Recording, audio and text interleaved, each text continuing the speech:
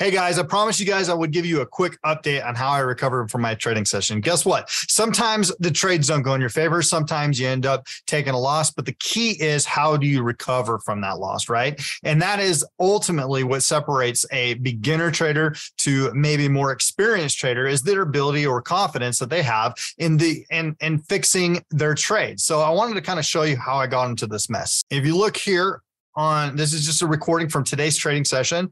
I was thinking that it was going to bounce. Obviously, I was thinking it was going to bounce, or it wouldn't have been in um, the trades that I that I was in, right? And so um, I started stacking into buys right here.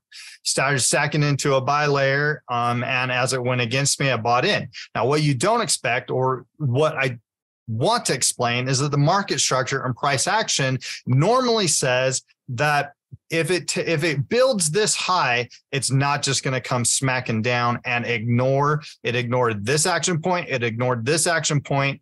Um, and so I felt conf- confident in building into some buys for a retest of this area right into here or 50% of this overall move right there. And so that's what I was looking for. That's what I was expecting. It didn't happen. Guess what? In trading, it's never 100% correct. You're never going to win every single time. So you got to have a plan B, right? My plan A was we were going to get this bounce. So what happened, I'm just going to fast forward this just a minute, just to show you how I got into this little, little predicament here. So what happened is it kind of ignored price um, behavior. I thought, okay, here we go. We're going to get that bounce. It didn't bounce and it just continued to run down, right? So I'm just fast forwarding this really quick. It continued to run down. You ran all the way down. Um, and I'm like, okay, may, well, maybe here, maybe here it's going to turn, right? And I'm expecting the turn because we're more than three price cycles away. I'm in all these trades right here. I'm down one um, almost 2% into my account, right? I'm down one and a half to 2%. And I just take all the trades basically a closeout of everything because it broke this and it's like okay it ran down it broke down it's going to break again and it's going to run all right so sitting at negative 1.95% almost 2% so 2% negative um, and how do you recover right? And i knew that during my trading session with you guys on i was not going to be able to recover. So i said hey i'm going to do a quick video showing you guys exactly how i ended up recovering.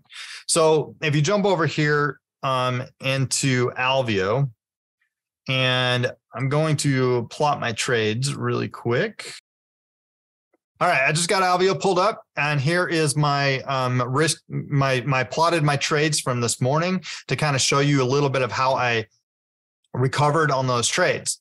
So if you'll if you'll see here, um, I was down 1.95% in my account. So I'm down 1.95%. We'll just call it 2%. Down 2% of my account, and um, I need to recover. So how do you do that? Well, once you realize that you're in recovery mode or fix it mode, you're no longer in normal mode. You're no longer normal trading to try and you know stack profits try and build into a, a, a profitable position. Now you're kind of in a recovery and trade mode. Now I want to preface everything that I say here by by saying that um, the thing that you, the most, or the best thing that you could do is step away for a minute.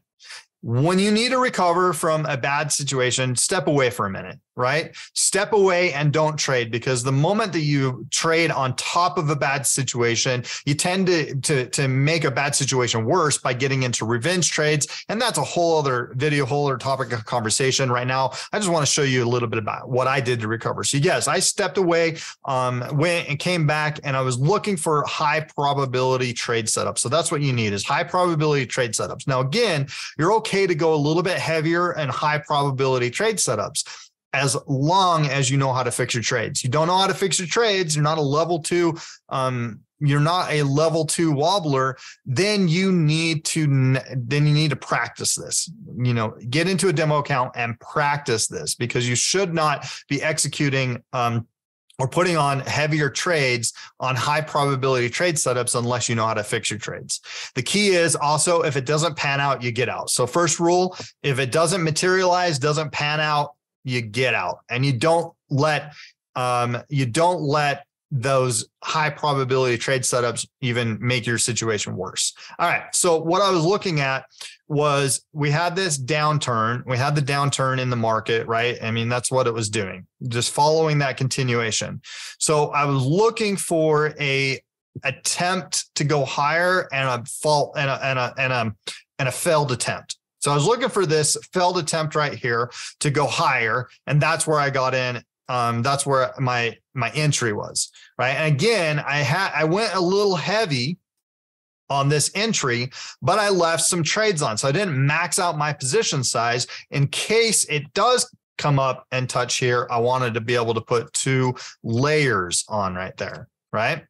So I wanted to have two layers on right here. So here's my entry right here.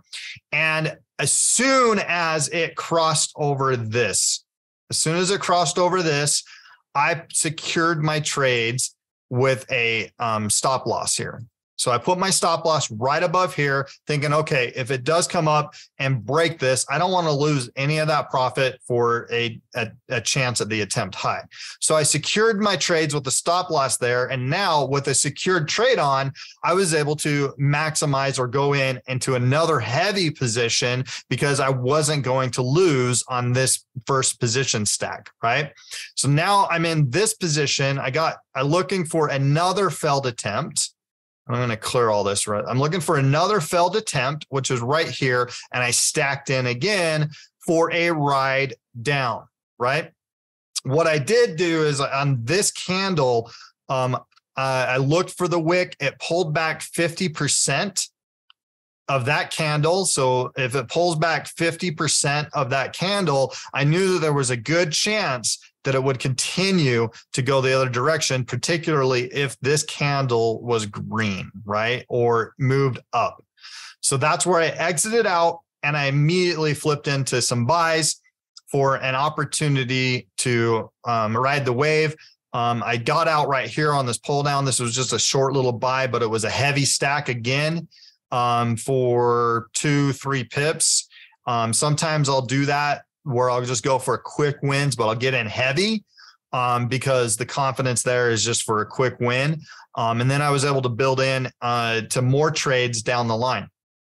Um, ended up turning negative 2% into positive one and a half or 1.6 um, percent so um, on the day. So that's a little bit about how I recovered from the day. I looked for high probability trade setups. I looked for a failed to, to go higher, and I got in with a little bit heavier position size. I never did exceed what my risk management rules were. And remember, you you have you have those trades there for fix it mode. And so practice this. If you guys ever get yourself into a situation, practice this right? Looking for that. Now, I would have gotten out of these trades if it broke here. So that's my exit point.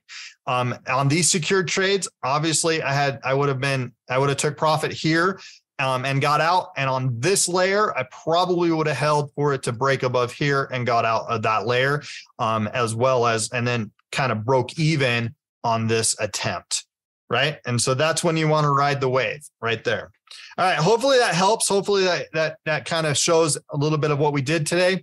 And um, yeah, look forward to seeing you in the AM. Thanks, guys, and we'll see you uh, in our trade.